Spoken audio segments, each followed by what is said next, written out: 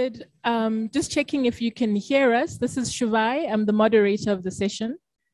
I can hear you beautifully. Um, can you hear me? Yes, we can hear you. Welcome and thank you so much. We'll start in a few minutes. That's absolutely fine. Thank you. Hello, welcome everybody. If if you could just please find a seat. We're very cognizant that it's the, the end of a of a long day, a rich day, but a long day. So uh, my promise to you is that this will be uh, short, lively, very interactive, and we understand that we're the last thing standing between uh, you and dinner.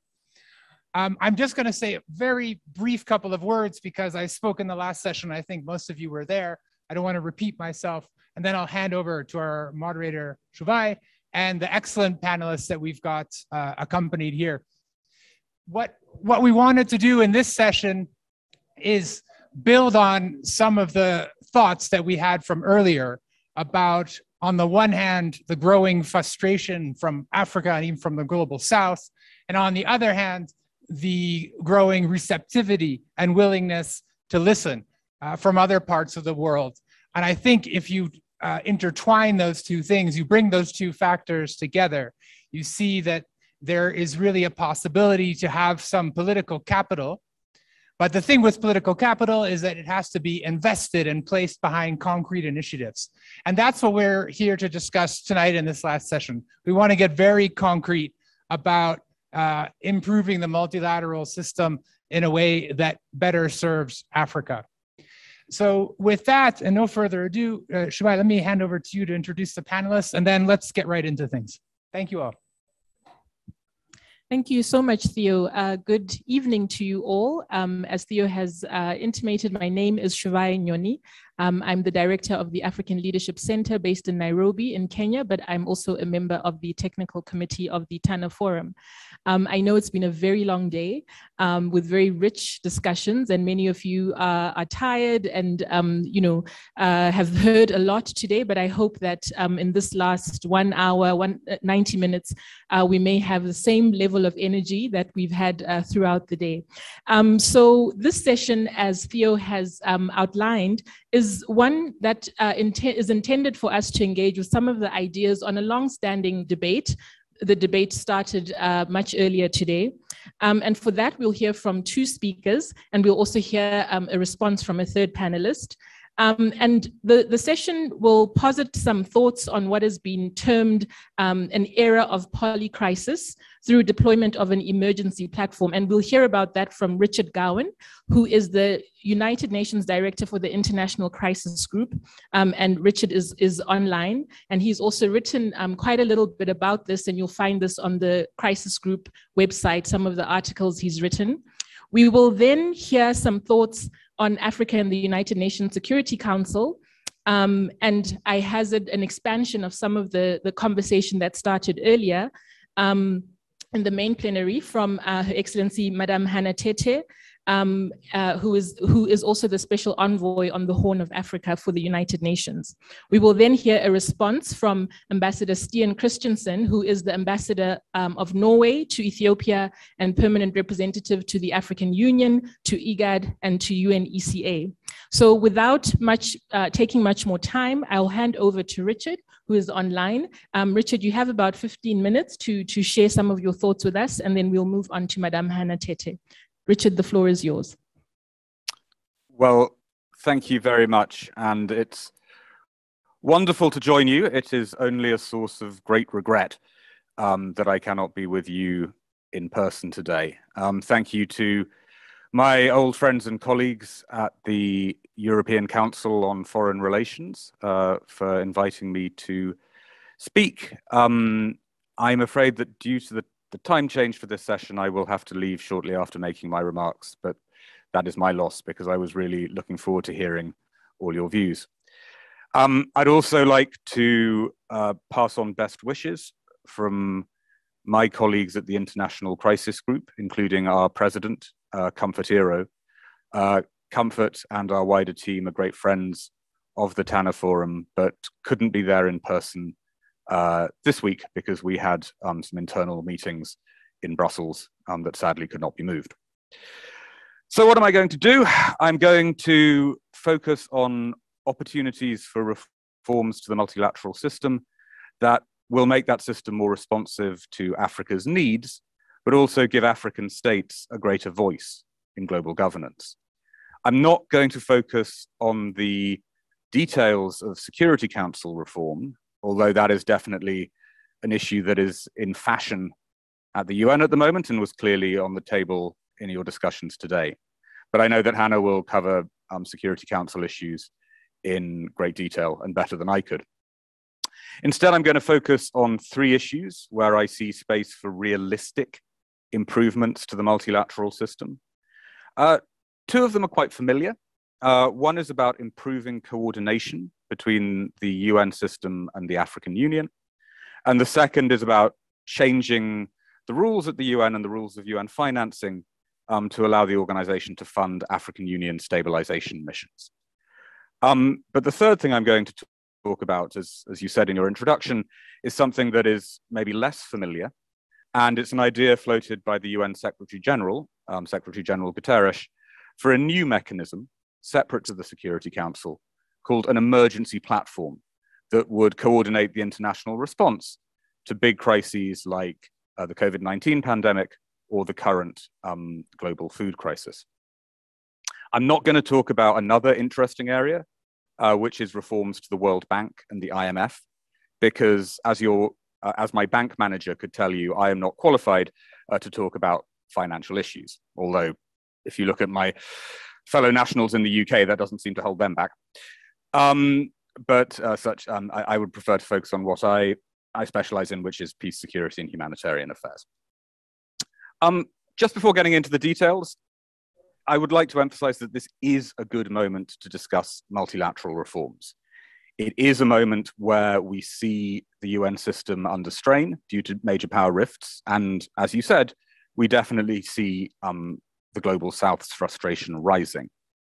We should also be honest that the multilateral system did not respond well to the COVID 19 pandemic, and it's not responding well to crises, not only including the war in Ukraine, but conflicts ranging from those in the Sahel uh, to the coup in Myanmar.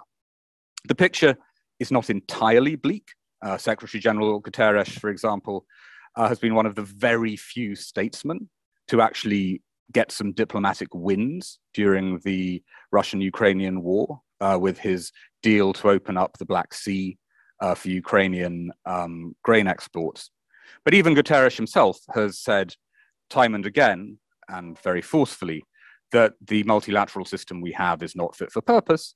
And he's especially said that it's not serving Africa's needs sufficiently. Um, I do think this message is starting to get through. The G77's frustration over issues such as climate financing and the rollout of COVID vaccines has resonated uh, with the Biden administration and with European members of uh, the UN. And actually, one uh, European diplomat said to me recently in New York that the UN membership can't agree on anything right now. But the one thing that actually everyone, at least says they agree on, is that there should be multilateral reforms that give Africa a greater voice in um, this system. Now, the optimal way to do that would, of course, be to expand the Security Council um, to create more seats for African members, including permanent African representation. But we have to be honest Security Council reform is a difficult process, even in a permissive environment, and we are not in a permissive environment um, globally at the moment. So I think we heard President Biden talk about a US desire to see Security Council reform last month. I would say that African leaders should take up President Biden on that offer of a conversation. But in the meantime, we have to look for other, more limited reforms that we can work on in the meantime. What would those reforms look like? Well, I think we can start with some pretty simple ones. There are some, uh, frankly, procedural obstacles to cooperation between the UN and African Union, which should be solvable through um, some smart diplomacy by both sides. Uh, this is something the Crisis Group published a report on in 2019. Uh, you can find it on our website.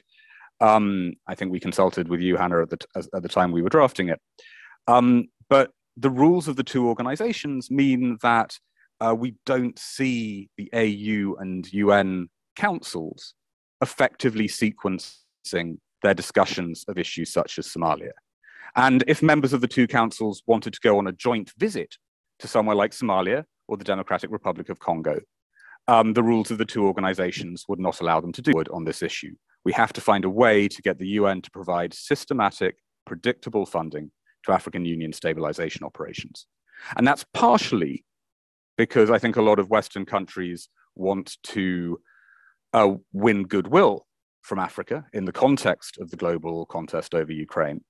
But it's also because they're looking at the security situation in places like Sahel and asking if, in one or two years' time, we might need to deploy new African forces at considerable scale, African Union forces at considerable scale in those theaters. And so I do actually feel real momentum uh, talking to diplomats from all groups to try and make progress on the funding question. Gabon and Ghana are pressing on this um, as current members of the Security Council and the presidents of the Security Council for this month and next month. And so I, I do think we might finally manage to resolve this, you know, this funding question. Um, but it's not easy. Um, it's a matter of political will, but it also involves a lot of complex technicalities. Anyone like Hanna, who has had to deal with the fifth committee at the UN, knows that UN funding is a, is a complicated beast, even when it is politically cleared. So um, we uh, must, uh, you know, we must sort of get down to the brass tacks. And again, I think countries like Norway and members of the European Union could play a significant role in breaking some of those logjams. So those are issues that uh, we have all discussed in the past. Let me now add one issue that uh, is new and that is the Secretary General's idea for a, a mechanism called the Emergency Platform, separate to um, the UN Security Council. Um, this was an idea that the Secretary General floated in a very far reaching report in 2021 called Our Common Agenda. And in Our Common Agenda, the Secretary General noted that the world is more interconnected and interdependent than ever. That was demonstrated by the shock of COVID 19 on the international economy. And the point has been reaffirmed very clearly uh, this, um, this year uh, because we have seen a war in Europe, the war in Ukraine, lead to um, a ripple of global food price rises and global energy price rises that is affecting uh, countries in Africa in particular, but also affecting um, vulnerable countries such as Lebanon in other regions. So we need some sort of coordination mechanism that we can turn to separately to the Security Council um, to try to uh, bring together um, states, um, the international financial institutions, regional organizations, and other actors to coordinate on these shocks to the interdependent global system um, that uh, do appear to be rippling around us on an increasingly frequent basis.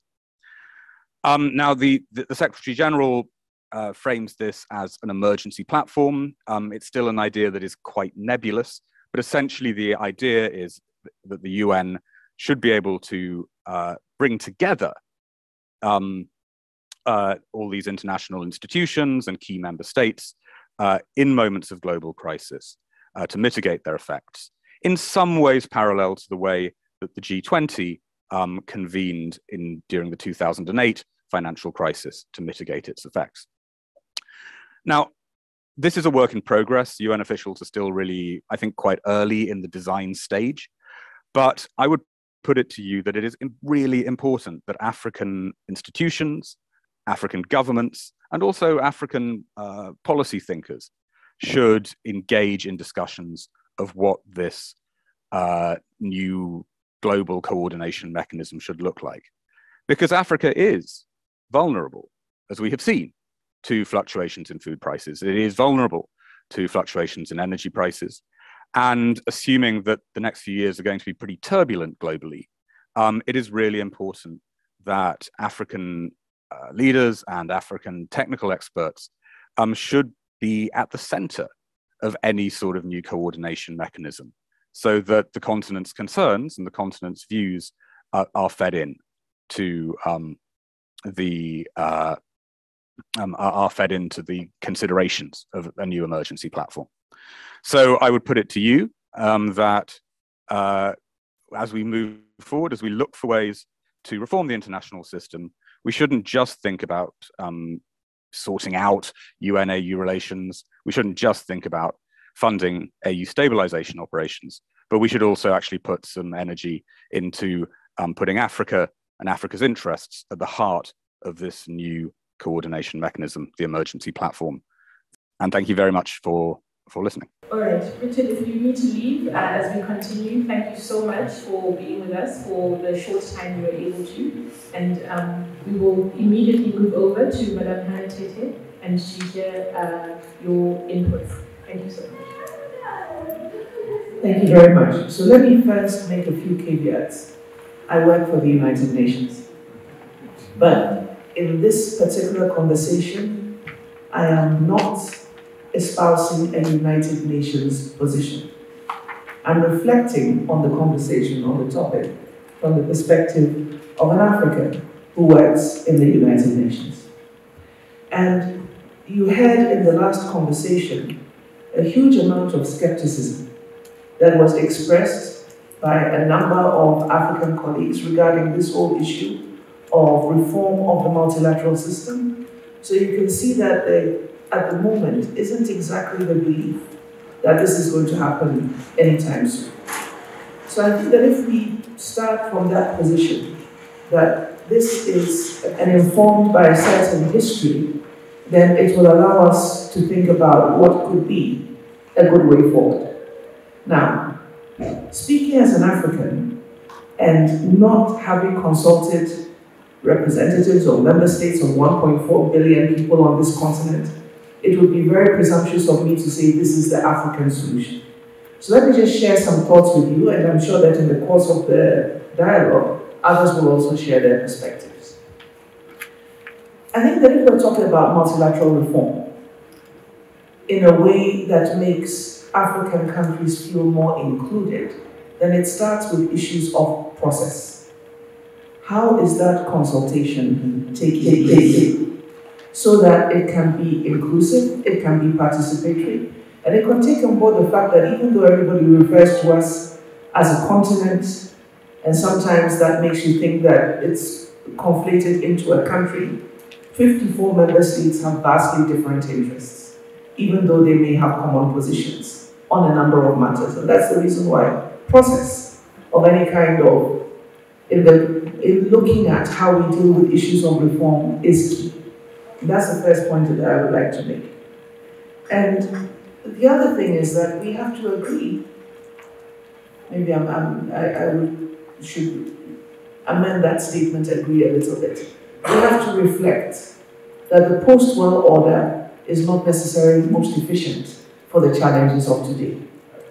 And therefore, when we're talking about the issues of the Security Council and the way in which decision making takes place at the Security Council, that's one of the areas that requires that consultation in order to make sure that we have a decision making mechanism on issues of peace and security that is more reflective and more inclusive.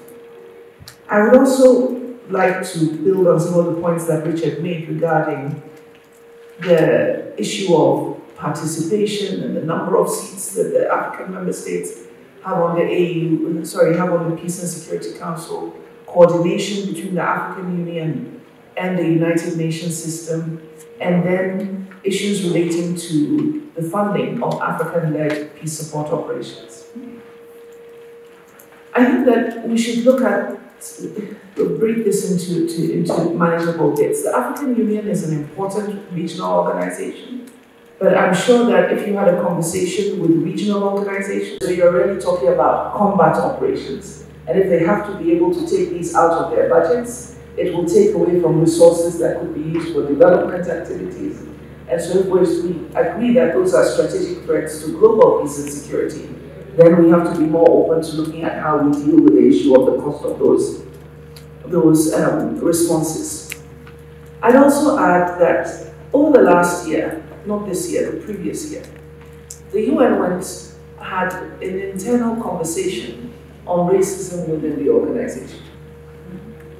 And that was because there were not just Africans, but people from the global south who felt that the opportunities for advancement within the organization were limited. And that it was difficult to not talk about people like me who have joined the UN usually after our political careers. I'm talking about people who have built their careers from within the organization. That the opportunities for advancement were limited, and it goes to reinforce this perception of this is a Western dominated organization, of which African member states are perhaps spectators but not necessarily participants. And so I think that process of internal reform and issues related to career development and advancement also has to be addressed in order to create more confidence in the organization and its mechanisms. The last point that I want to make is that this issue of finding ways of making Africans and people of African descent feel more included within the multilateral system should not just be a nice to have because Ukraine has happened. African diasporas are across the globe, and in many Western countries, they form significant, albeit minority groups. And to that extent, they influence politics. They pay attention to what is happening in their home environment. They also pay attention to whether they are included or whether they are overlooked. They vote, they debate, they participate in governance, they participate in government at senior official levels. So the way in which our world has transformed, we're getting smaller and smaller, we're getting much more connected. We can't avoid having to deal with each other. And so we're going to have to be a bit more frank and a bit more forthright and a bit more focused on how we do this process of engagement and creating the appetite and the willingness and an effective process for reform so that those reforms will be seen as meaningful. Because if we're not able to look at this from a process perspective and looking at how we are going to make this happen, and it seems to be a short term it's, it's something that has, has captured the world's attention because of Ukraine.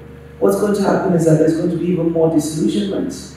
You're not going to be able to have those frank conversations that allow for reform and allow for meaningful reform. Understanding that this will take time, but it doesn't mean that it has to take forever. I mean, when I previously was in government, I remember we always used to receive this report of the C I think it was the C10, group of 10 from the African Union on Security Council reform. And I always used to find it very farcical because we had this report coming in annually and nothing, absolutely nothing was happening. So really, who were we kidding regarding whether this was going to happen or not? It, it just seemed like so much of a charade. And I think we need to move beyond thinking of this process of inclusivity and reform as a charade. So, uh, distinguished ladies and gentlemen, and for my, in Africa, you know, we call ourselves brothers and sisters. For my brothers and sisters sitting in the audience, I hope that I have managed to reflect some of the ways in which you see this. Understanding I didn't consult you before I decided, before I was invited to be part of this conversation. And I'm sure that you can speak up for yourselves as well as to how you see this and how you think that we should be addressing this issue moving forward. But I'd like to repeat, reform of the multilateral system is not a nice to have. It's something that has to be done to make the system fit for purpose. Otherwise, people will disengage from it because they will not see that it is relevant. Thank you.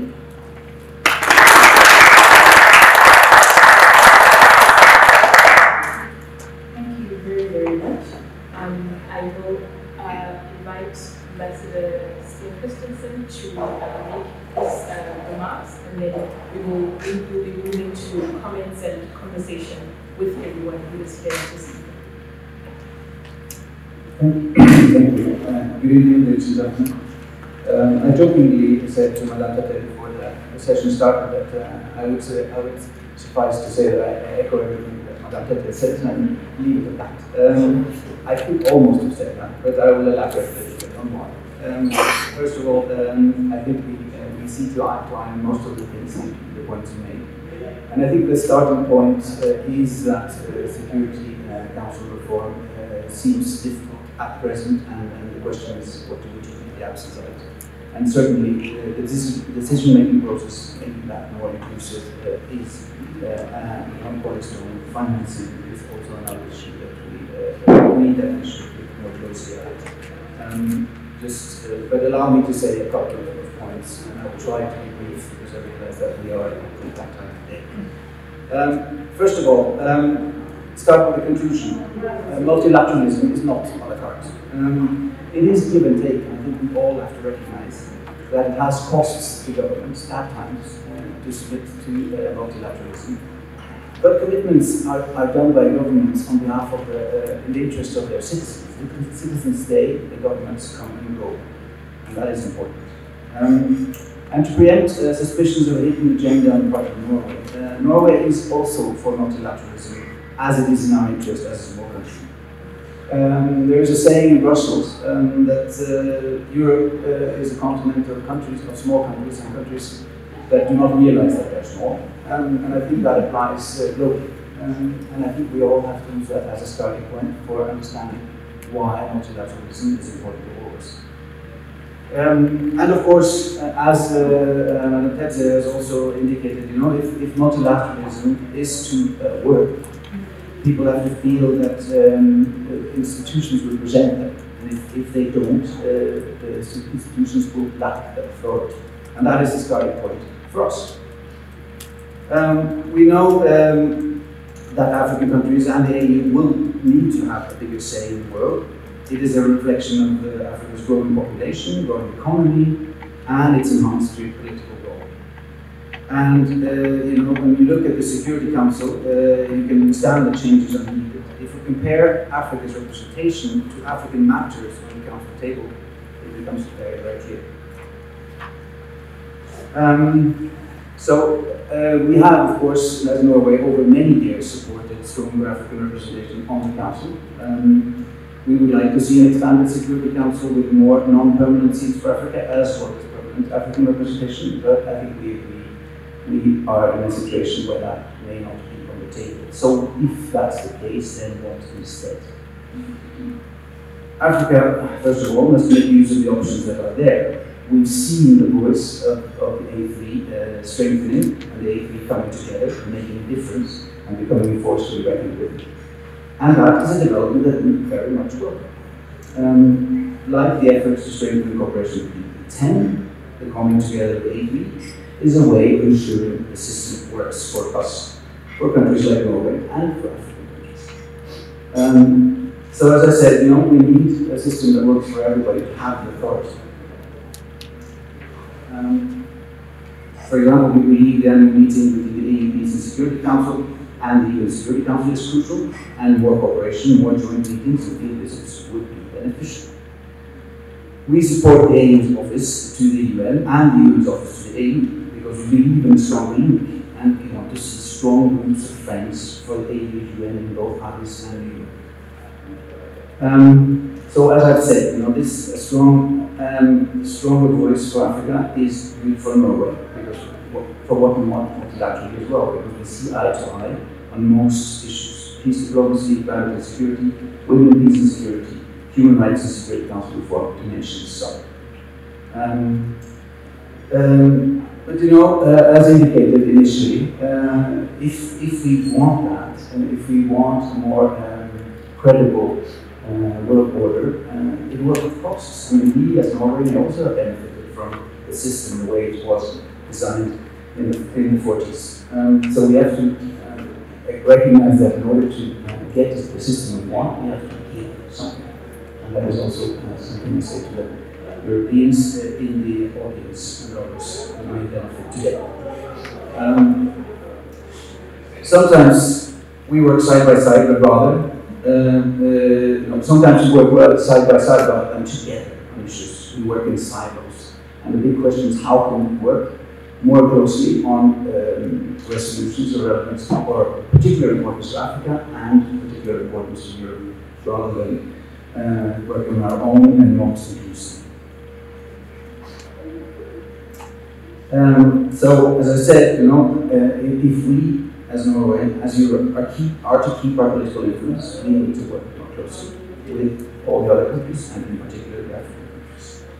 Um, so I'm, uh, I see that my notes are repeating themselves, so I will try not to cut it short. Um, um, so, um, just in conclusion, you know, uh, Norway sometimes prides itself on the aid we provide, um, and sometimes that may be justifiable. Uh, but you know, our African policies are the ones that define the political compromises that we have to make, and I think those are the ones that really will make a difference. Um, yes, the continent may be aid, but it wants needs and is entitled to political victories as well. And we should seek out the areas where those can be found.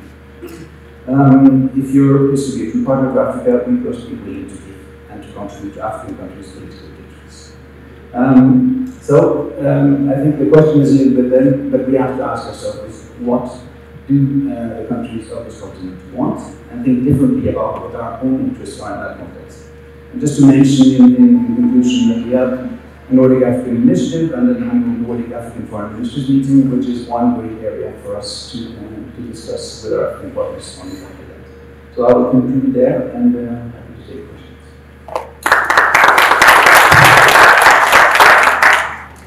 Thank you very much, uh, Ambassador. So um, we've heard uh, quite a lot, but I want to also applaud our panelists for keeping to time, but also ensuring that they did give us quite a, um, you know, a meaty, uh, meaty information for us to sink our teeth into and also to guide our discussion. Um, we've heard about timing, whether it is the right time to talk about, uh, to have this conversation or for an actual change to take place. We heard about sequencing and collaboration, um, for instance, joint AU, UN uh, missions of the, of the two security councils.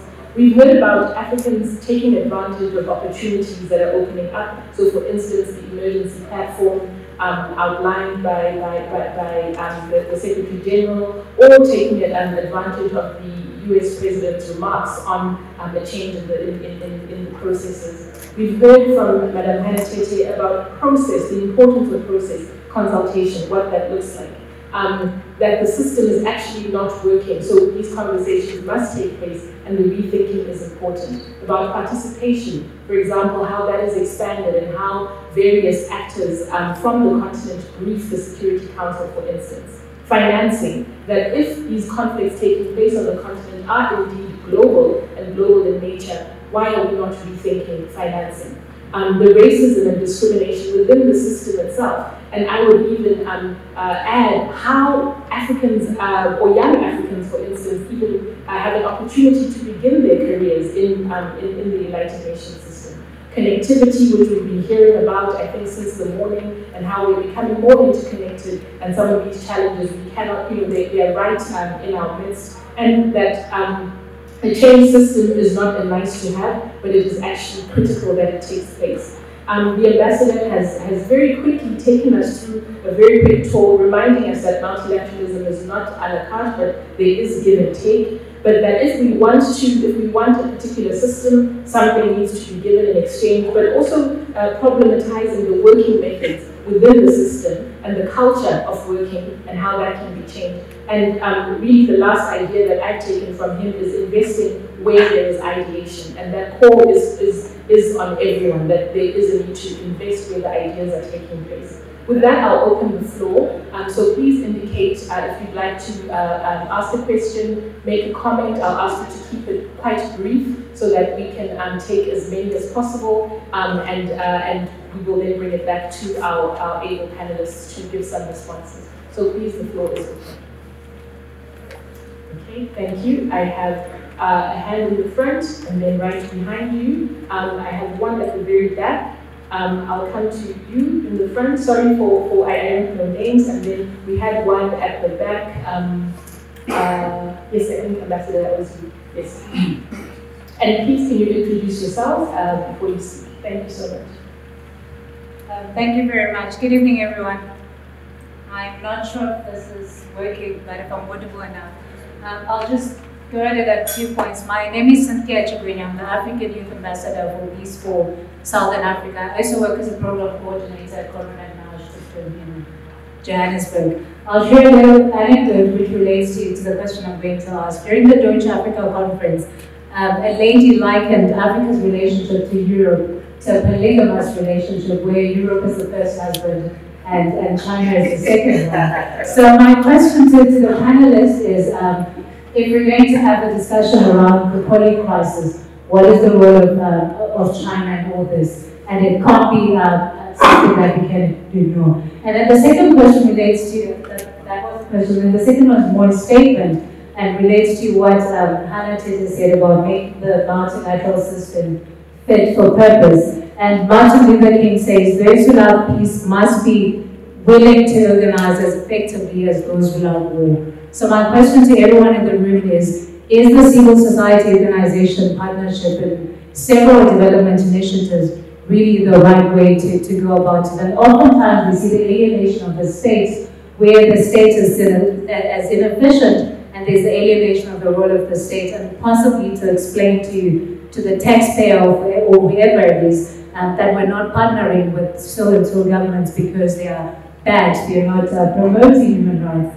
But in doing so, we actually also give a challenge to policy continuity because we're, partner, we're not partnering with institutions that are quite um, indispensable in African state. So we really need to rethink partnership with African states in, in terms of developing. And the question to you was uh, the role of China in development. Thank you very much.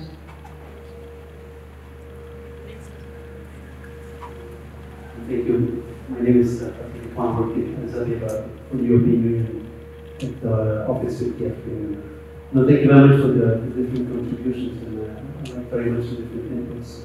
And also retain the, among the senses of, of, of my Anapeti, uh, indeed the, the phrase that uh, UN reform is indispensable and it should not happen because of Ukraine.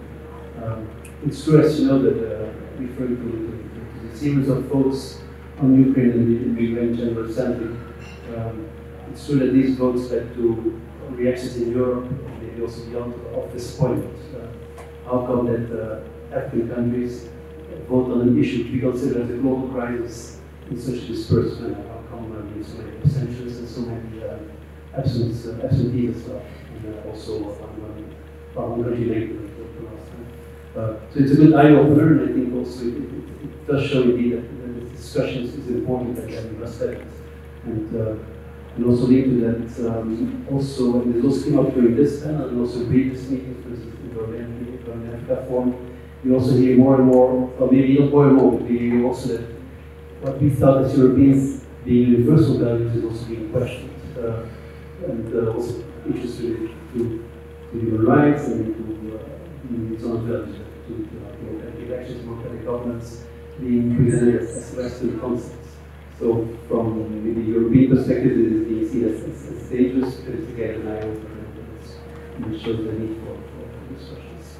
Um, just to indicate that one week before the, the, the Russian war against Ukraine, the AU and the EU had at their sixth summit. And the summit this did generate a communique refers both to to, uh, to the, the, support that both the EU and the EU give to, to multilateralism and also in that same communique, referring to one of the points which is made here, uh, the EU uh, also expresses some strong support of using assessed contributions for uh, FNLET and EU-led peace. So this also seems to show a move uh, from the EU in, in this direction. Um, the one point I want to make, because indeed um, when we talk about reform, we seem to talk a lot about, about the representation element and I think we also mentioned that uh, earlier this afternoon. Um, but when we look from the other perspective, we have the impression that Africa can already do more to, uh, to, to express a, common voice, a global voice. Um, um, for instance, on, on, issues which we consider as a global crisis. Um, for instance, also indeed on, on peace support operations. Um, I think it has been already a long time that, that uh, an AU paper on funding of peace support operations has been, has been announced we still see this not happening. And I think we can also refer to other action where we see possibility for Africa, possibly through the EU, to come up with a collective voice, independent also from, from the fact that uh, Africa is underrepresented at the Security Council and the question is how can we, as a partner, work together with our African partners also to, to support Africa to come up with research and Thank you so much. Um, there was a gentleman at the back, and yes, with his hand up.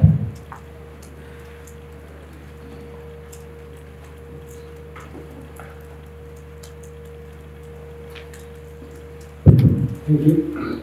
My name is Solomon. I, I represent the Bahá'í International Community Ababa office. Uh, in collaboration with our Brussels office, the last uh, AU summit, we, we issued a statement regarding the framework of the principle that must govern the relationship between these two countries. As Madam Tetteh was trying to emphasize, there is actually racism. Even our colleagues have individually uh, friendly, very good people, but there is structure, racism and structure injustice in the institution. So we emphasize the importance of having a fundamental principle or governing framework upon which this relationship should be built, and that is the oneness of humanity. That the body politic is very similar to the human body, that the well-being of one organ is dependent on the well-being of the other unless we recognize this principle, we cannot go uh, forward, I think. So if Europe, the back of the stage or behind the curtain, continues to, to think how to, how to really subdue or how to exploit Africa, it, it not well. So, I mean, uh, going forward in the, the coming century, I think Europe should think in terms of the oneness of humanity the, the well-being of Europe is dependent on the well-being of Africa. And I, I encourage everyone to read this uh, statement on the oneness of humanity uh, issued uh, on EU episode last Sunday, uh, uploaded on the ASU. Thank you. Thank you. Um, take Ambassador, whose hand is up, and then we will come to uh, Don, and then we will come to the front with my brother at the front. Um, so for now, we'll take those. Thank you very much, um, Ramona, Ambassador Switzerland the African Union. Um, thank you very much for the discussion. I mean, it's, it's something that is a recurrent topic, but I think it deserves to be recurrent because I think things are moving and, and I think we really have to uh, use the time to, to, to, uh, to have an, an engaged dialogue and, and, really start finding solutions. And for Switzerland, I, I joined SCIEN. I mean, for us, it's also important to really have a discussion on the future of multilateralism because for us, multilateralism is also absolutely key uh, to, to, um, uh, to, to, find solutions at the global scale. Uh, we do also have some self-interest when it comes to Switzerland and multilateralism, with Geneva being the hub uh, of so many UN uh, agencies. I think particularly also questions that, that you, uh, Hanna, has have mentioned on racism, on promotion. I think this is not necessarily something that, that we can directly uh, influence, but I think where we really have to continue the dialogue to making sure also that, you know, within specialized agencies based in Geneva, these things are actually uh, taken very seriously. Um, three quick points. The first one, I don't want to sort of give it a different spin to the discussion, uh, but it might be also worthwhile maybe to think about, you know, there was this sketch years ago about what does, what has in this case, the UN ever done for me. And it reminds me of a debate that we actually had back in Switzerland. So as you know, we, we, we vote on everything in Switzerland. So there was also a vote on something that uh, was related to the UN system. Uh, and, and so we had to do all of these uh, discussions and debates about what has actually the UN system done for Swiss people. And the list became longer and longer. That again, I'm, I'm, not questioning at all all the problems that have been identified. I think they have to be taken seriously and addressed, not as a side note, but really put front and center. But nonetheless, is there also room for a debate about what has the UN system, multilateralism done for, for us, uh, for the international community, for Africa, for the people? I think there are also some uh, good elements that we can come uh, up with. On the UN Security Council, as you know, Switzerland will join the council as of January uh, of next year. We've already started discussing also with, with the UN, but also with other uh, members, uh, also of the African Union, on small things that we can do on, on facilitating also the exchange between Addis and New York, also building up on, on previous ex experiences uh, from other countries. Small things like, for example, our PR in New York trying to set up a call with whoever will uh, chair the Peace and Security Council in the months where Switzerland will have the presidency of the Security Council to not only brief them towards the end of the month, but even before actually we, uh, Switzerland will have presented uh, uh, our objectives of the month of, of, May, which will be the first presidency that we'll have, really also avoid that image that we, we've done that just for the sake of it, but really to have the time to really bring in also uh, the voice from others if possible. And many other elements I'm not going to, uh, to dwell on that. Final and last point. Uh, so we talked a lot also on, on topics uh, regarding peace and security. Security Council, again, I think is, a, is the important um, um, cluster of, of work that we have to be looked into. I just wanted to add another topic where I think it, there, there, has to be a, a open and transparent and sincere discussion on, on right-sizing multilateralism, which is everything related to uh, sustainable development, implementation of the Agenda 2030, uh, humanitarian cooperation. I think there is a, a, lot of room there to also improve uh, sort of this right-sizing of multilateralism. Um, back um, in May, I, I, had the privilege of participating at the AU Humanitarian uh, summit in Malabo. And one of the discussions I, we started there was also actually, is there a way to actually better grasp what African countries are doing for refugees, for IDPs, for uh, particularly for humanitarian assistance? Because we are still so much in this system of always looking at what the big donors are doing, what the UN is doing. Fantastic work, particularly from the UN, I'm not criticizing. But I was in a panel with the minister from Niger, and then he told me, good question, because actually half of the budget that Niger is putting forward for humanitarian assistance comes from the state budget of Niger. Whereas we always believe that Niger, all everything, all the humanitarian activities in Niger are funded by international parties, which is simply not true. In our host country here in Ethiopia, um, both the central government, but also um, for example, the, the, the, um, government of the Somali region, they are doing immense work in hosting displaced communities and refugees, in, in giving them access to education, to land, to work, to mobility. This costs money. And I, am mentioning this because I think if we start having a more transparent debate of what that actually means, maybe these also change a little bit the power uh, imbalance that still is there, although I think we did in the 2030, we try to overcome that, but it's still in there, believing that the implementation of Agenda 2030 or humanitarian work depends exclusively on international donors, when quite the contrary is, is, is the case. It takes all of us, but I think we have to pay more attention also what comes from the members, from African countries, for example. And I mentioned that also in view of a possible next Agenda 2045. I don't know what the plans are, but I think uh, also latest there, I think we really have to review also how we are working together and really also paying tribute uh, and recognizing, actually putting a figure on what comes from Africa because this is actually quite staggering and important.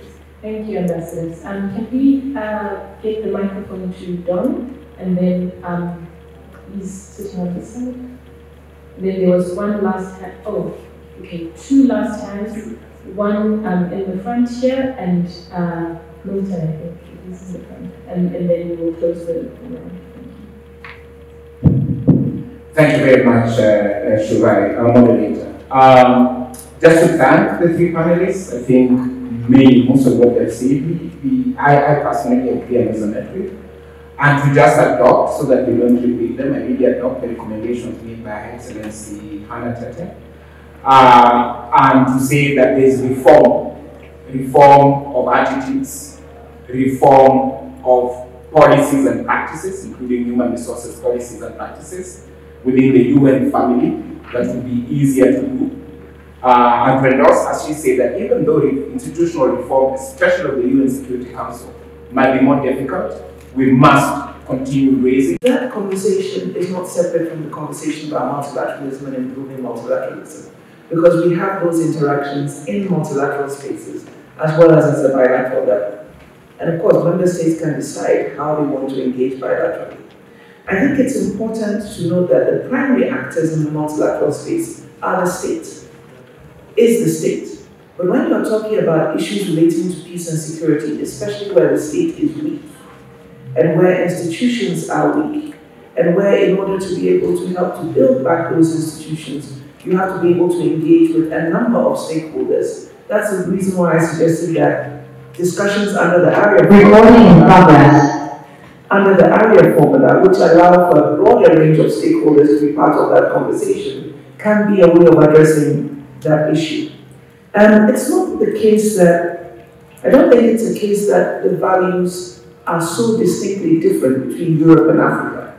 But I think that with some aspects of the values that we share, including respect for human rights, the way in which those rights have been interpreted, maybe within a European context, have not yet been taken into consideration in the same way within an African context. And the debate on LGBTQ issues, for instance, is a case in point.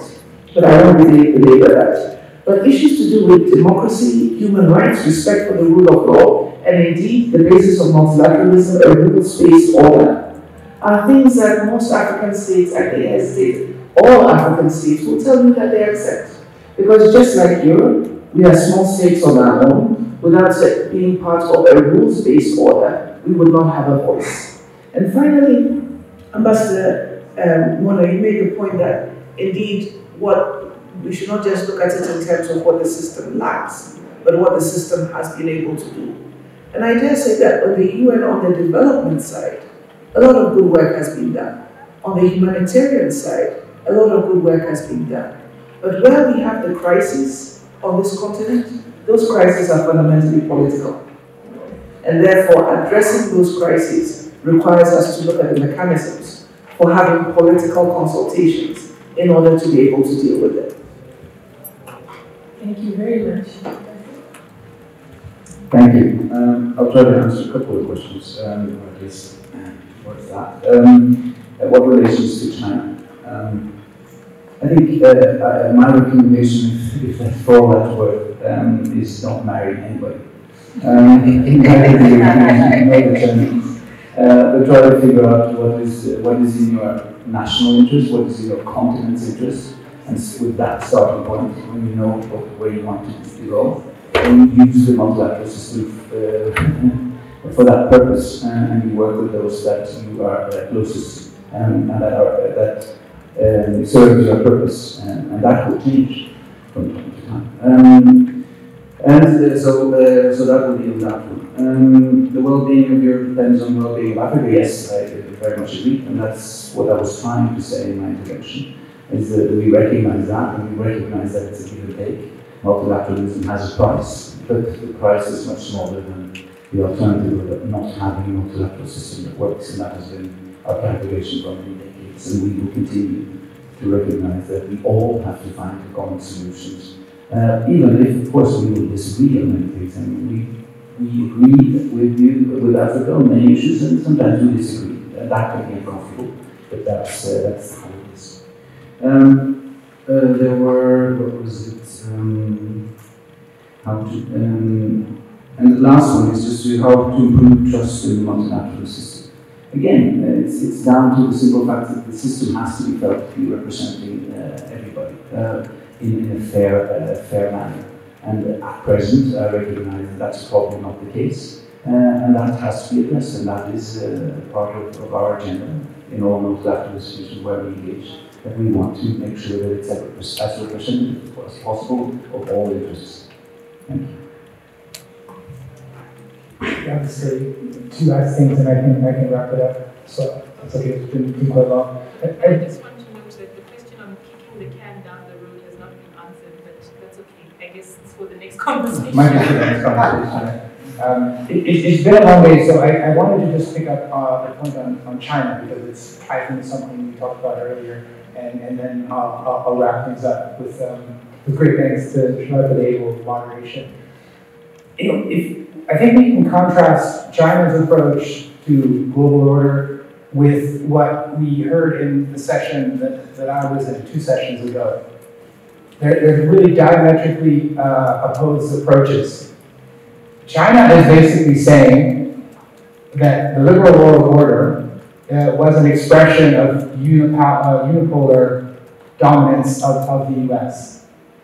So that's the power dynamic behind it. But strategically, the language it's using now, the talking points, are this is our order. We were there at the founding in San Francisco.